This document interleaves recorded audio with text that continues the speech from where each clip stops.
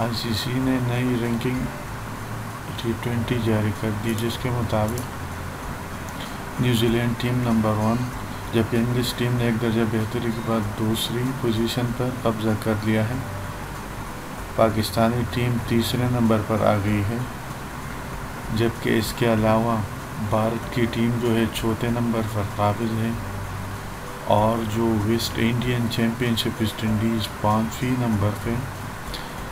South Africa जो है, छठी number पे और सातवीं नंबर पे ऑस्ट्रेलियन टीम है। इसके बाद श्रीलंकन टीम आठवीं नंबर पर, अफ़गानिस्तान की टीम जो है नवी नंबर पर और इसके बाद बिलतरतीब दसवीं नंबर पर बांग्लादेश की टीम है। जबकि बॉलिंग की फहरिस्त में पाकिस्तान का,